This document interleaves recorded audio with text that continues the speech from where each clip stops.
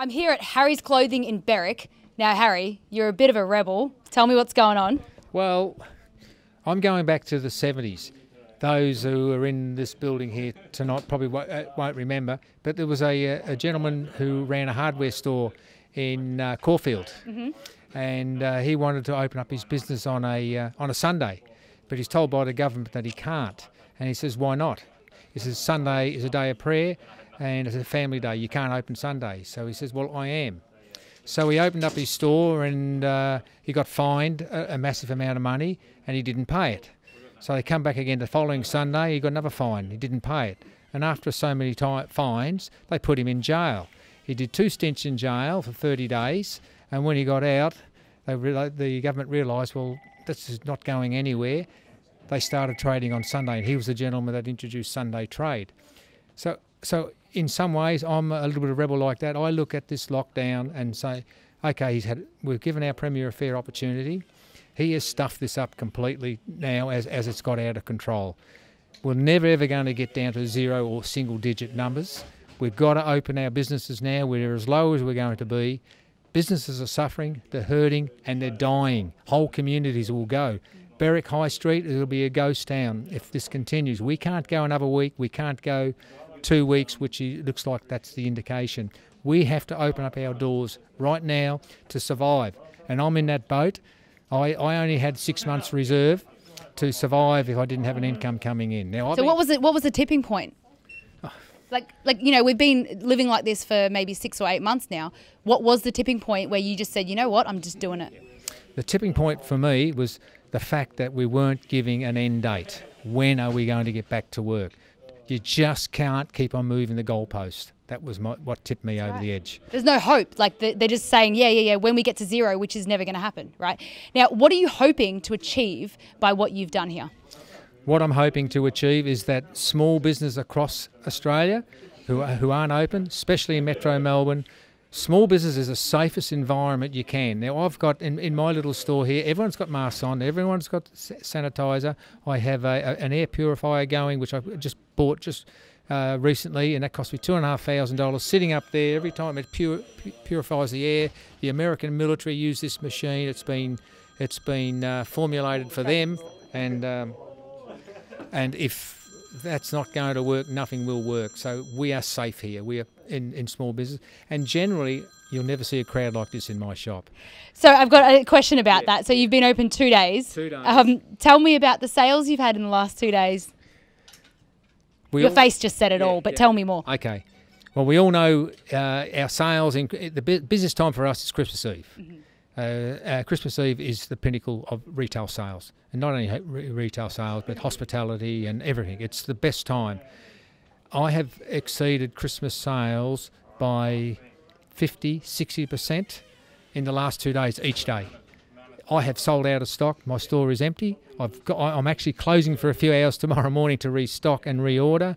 Uh, the amount of support, people are just coming in and buying anything. I just had a, a lady then who, want, who come in and she said, "I'll, I'll buy a gift voucher, two hundred dollars." There she is over there, and Come over uh, here. Come over here. yeah, and No, she doesn't and- wanna come over. And uh, uh, who's who's it going to? Who would you like it made out to? She had no one in mind. She's basically given me a two hundred dollar uh, a, a gift, I believe. But anyway, that's there to be spent if she wants to hand it, and that's been happening all day.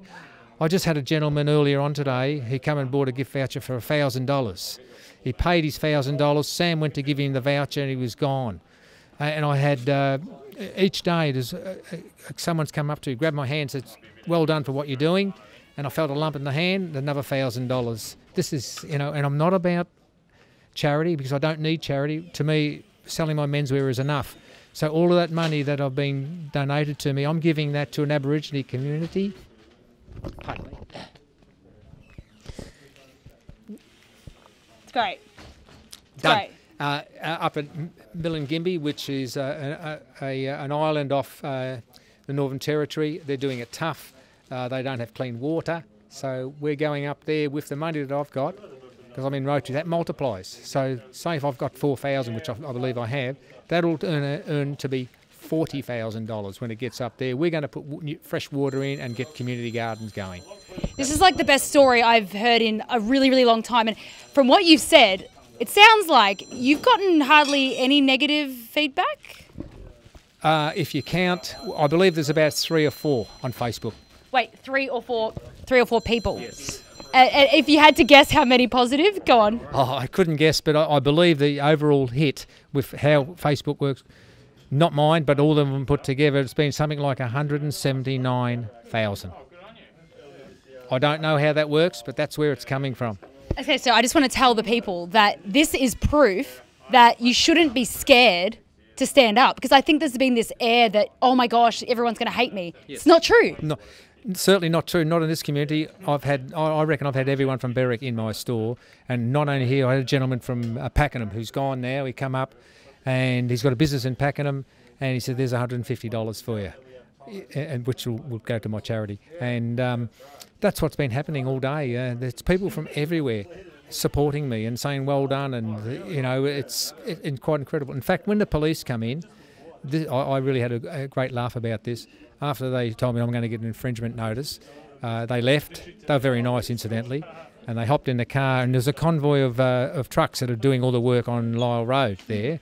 There's three of them, and all all the all the works are all hanging out the truck saying, "Oh, good on you, Harry, beauty," and tooting their horns. And the poor old police, you can see them, they just ducked their heads and sort of hopped in the patrol car and took off. Did you have any idea what kind of a response you would get? Did you have was this like is this like beyond your wildest dreams or is it uh, this is the wildest crazy dream that I can ever have I, I mean I thought I'm you know I might do an extra $300 or something like that and uh, yeah no I I never believed this would blow out to be what it is it's insane crazily insane. We didn't talk before this interview, by the way, so everything he's telling me is brand new information for me as well. Now, if you had, let's say, there's thirty thousand people watching right now, because there probably will be. Um, what what's one message that you would say to the people? And look into the camera, and I, I want, I want to, I want to, I want them to see the genuineness in your eyes, like okay. I have. Well, what my one message would be: get down there and support your small businesses. And if you are a small business owner, open up your business. Get this country going. We need our state up and running. We need to get our people back employed. We need our self esteem back. Open your business. Amen. And mic drop. Harry's Clothing is the first retail shop I know of that has opened his doors, and I believe the domino effect is going to be absolutely incredible. You saw the genuineness of why he opened, all the money that he's been getting, all the support that he's been getting. I mean, I can't tell you directly to open up, wink, wink, but you know, I think the proof is in the pudding that there are 6.2 million people in Melbourne and there's more of us than there is of Daniel Andrews. So um, I just cannot wait to see what's going to happen. And thank you so much, Harry from Harry's Clothing, for having the guts to start this domino effect. It's going to be one hell of a ride.